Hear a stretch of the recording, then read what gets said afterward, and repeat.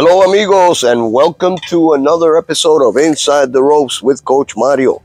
Coach Mario, owner and head coach of Warriors Pride Boxing Academy here in Miami, Florida. How are you guys doing? I hope everybody's fine. Had a great evening last night, like Saturday night. It was uh, one hell of a card uh, where we saw some good prospects coming up, and we also saw uh, that relentless beast called Artur Beterbiev. I had said before the before the whole fight took place, I had made my predictions online. I had told some of my friends and on Facebook pages that this fight was not going to last. It was going to go from eight to 10 rounds was my prediction. I was short by one round. I was short by one round. Beterbiev is a true monster. He is one of the most dangerous guys in the sport of boxing. And today, what we're going to do is we're going to discuss the similarities between Artur Beterbiev, who is a beast, no doubt. And I tell you something, uh, this man is going to give Bivol headaches, man.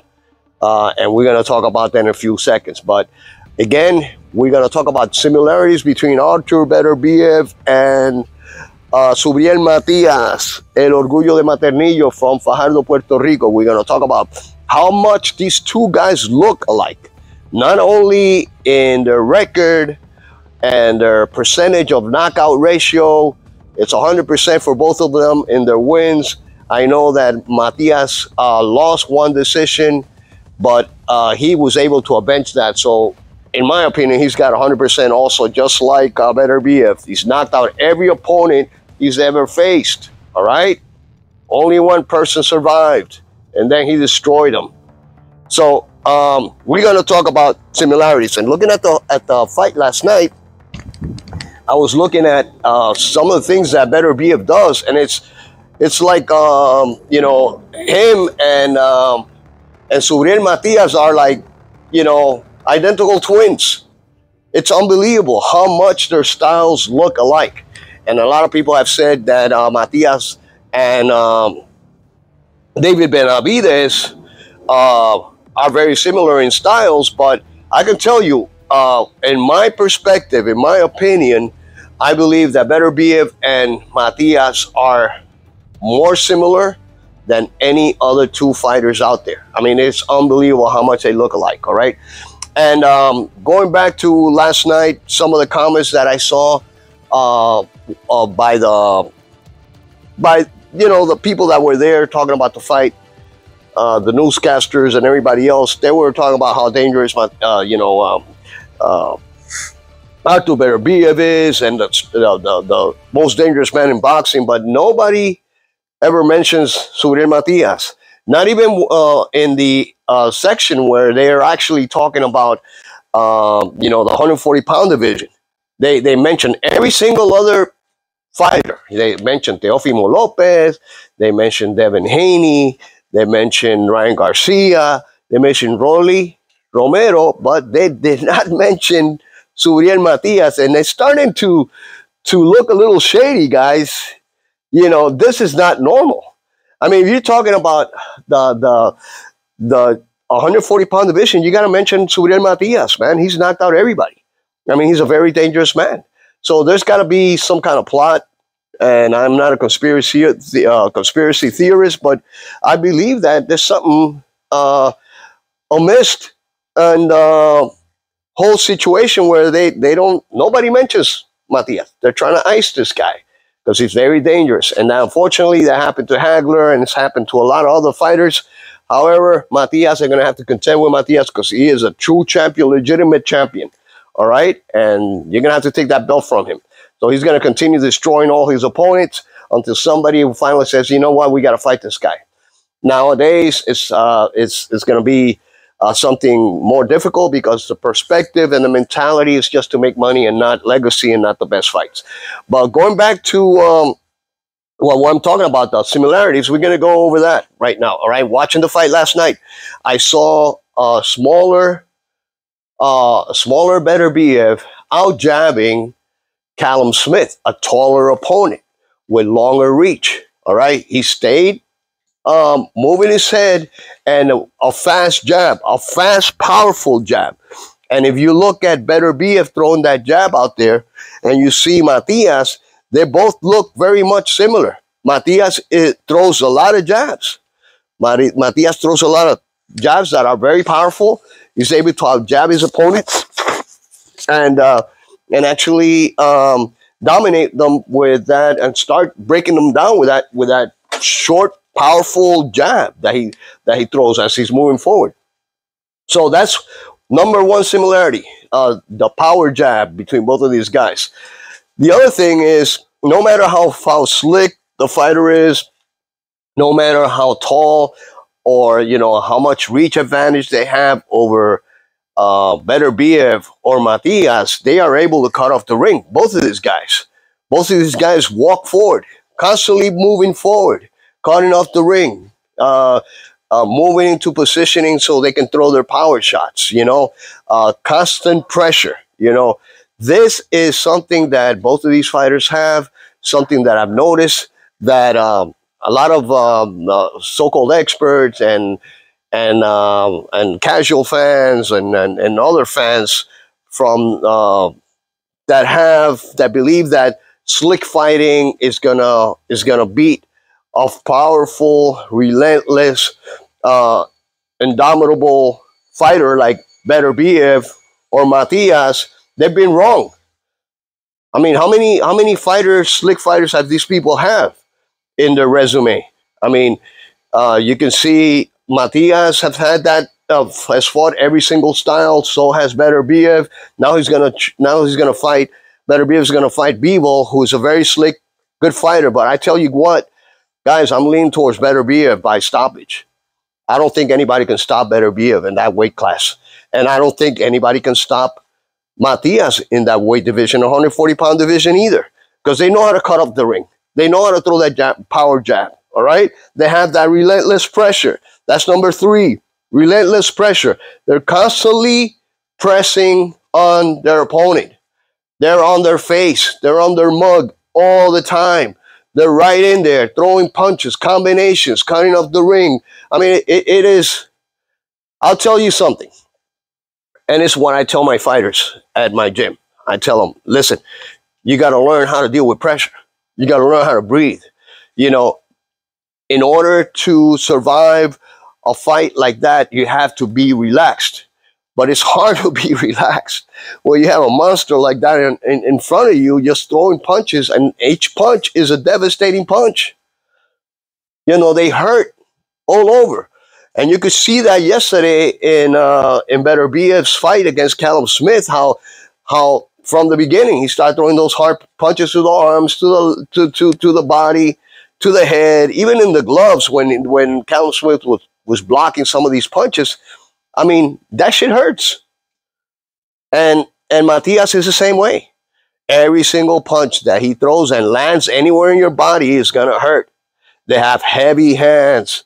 That is the next one. Short arm punches. Number four, heavy hands.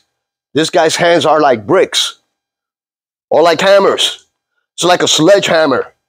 Even if a sledgehammer hits you softly with not a lot of pressure, it, the weight of that hammer on your body, you know, it's going to come a point you're going to say, oh crap, I don't want to get hit with that anymore.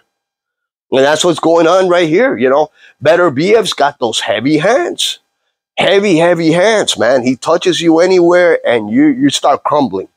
Matias is the same way.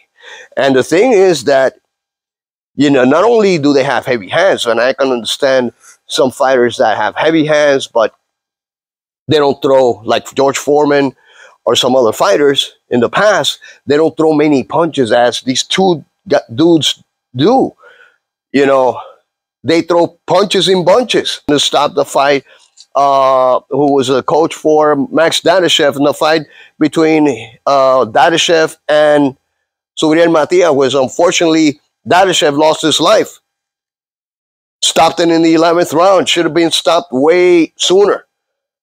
But hey, guys, you know, that's the sport of boxing. You never know. You give it 100%, and, and you know, some of these guys have uh, the will, the courage, and, and the gamemanship to continue fighting no matter what. And but these guys, Beterbiev and Matias, they're a different breed. They're generational fighters. These are freaks of nature. These guys are definitely freaks of nature.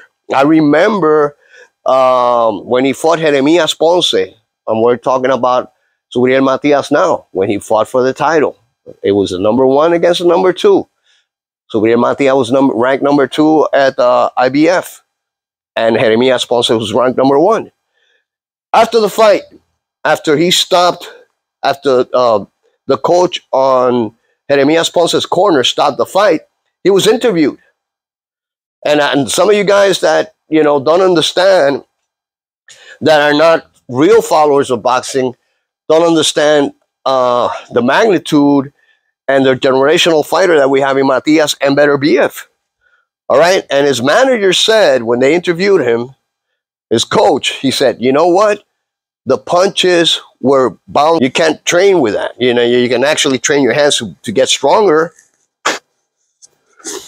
Do some exercises, get your hands a lot tougher and stronger and, and, and, and heavy. But uh, these guys are born with that with that um, advantage over the others, you know. Next thing, the gas tank. These guys throw hundreds of punches. They don't get tired. Both Beterbiev and Subriel Matias have excellent conditioning. They can go on for, for years. They can go on for many rounds, 15, 20 rounds, non-stop. Imagine a, a guy coming after you like that, man. Imagine that. So, again, Last night, we saw a beast in Artur Beterbiev destroy Callum Smith easily. Easily. You know, um, what's his name? Eddie Hearn. That guy talks a lot of shit, man. Yeah, he's he's had all his British guys destroyed by by people from either America or from other countries. All his guys have been destroyed. This guy was destroyed. He was saying that uh, Callum Smith was going to knock out Beterbiev. Come on, guys. These guys are unbelievable as far as taking punishment. They both move forward. They both get hit a lot, but they're able to take that those punches. They're like like brick walls. They were saying it last night. What is this guy made of? You know. So I understand that uh, the media and those who actually are, making the comments in uh, in some of these fights have their favorite fighters. But come on, you got to give respect and you got to give credit where the credit is due. So Uriel Matias is just as dangerous or even more than Artur Beterbiev because he has killed somebody in the ring, unfortunately, and he's making people quit. So Matias is a mini Beterbiev version. He's a mini me of Beterbiev. A smaller guy, but with the same attributes. They're identical twins. These guys are unbelievable, you know, and I, I truly believe Beterbiev is going to be able to dominate and stop Bivol. Bivol will not be able to hide, guys. Beterbiev doesn't get hurt by those punches. Beterbiev knows how to cut off the ring. He's on you like white on rice, and so is Matias. Haney will not be able to hide anywhere. Haney will not be able to take that pressure. Teofimo Lopez, if he fights uh, Subriel Matias, is going to get knocked out. And so will Rolly or any of these other fools. You know, so this is what I believe. This is what I saw last night. These are my, the similarities between both of these fighters. Let me know what you guys think. Who does Matias look more like? David Benavidez or Artur Beterbiev. Anyway, guys, you know, please remember to like, share, subscribe. We're almost at a thousand already subs. I appreciate your support. I appreciate you sharing these videos with other knowledgeable fans like yourself. I will try to answer any comments that you have out there. At least I'm liking all of them. I'm putting likes on all of them, uh, you know, and some of them uh, which are not knowledgeable fans, I like to discuss a little bit about why I believe the way I do, why I think the way I do, why I think Matias is a generational fighter. All right, guys, God bless you all. This is all for now. Until next time, this is Coach Mario, owner and head coach of Warriors Pride, saying hasta la vista. God bless you all and peace.